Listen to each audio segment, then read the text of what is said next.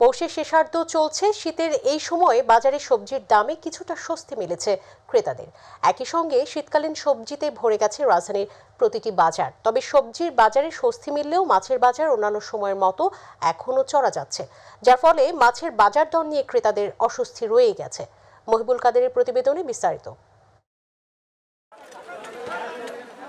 রাজধানীর কারণ বাজার ঘুরে দেখা গেছে সব ধরনের সবজির দাম আগের তুলনায় কমেছে। কিন্তু মাংসের দাম আগের মতো হলেও মাছের বাজারে উত্তাপ দেখা যায়। এই সপ্তাহে আসলে ওইভাবে কোনো দাম বাড়েনি মাছের আমদানি কম থাকলেও দামটা আমি খুব একটা তফাৎ দেখতেছি না। অ্যাজ ইউজুয়াল যেরকম দেখতেছি এরকম শীতের বাজার আমদানি কম।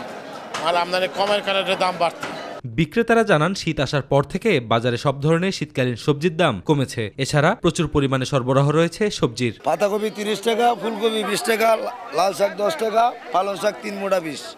আর লাউ তিরিশ টাকা মোটা তবে ক্রেতারা বলছেন মধ্যসত্ত্বভোগীদের দৌরাত্ম্য কমানো সম্ভব হলে শীতকালীন এসব সবজির দাম আরও কমে আসবে।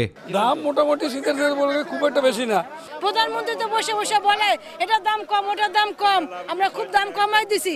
কোথায় দাম কমা দিছে? বাজারে মাংসের দামে খুব একটা পরিবর্তন নেই। রয়েছে গত সপ্তাহের মতোই। Mohibul Kader My TV Dhaka.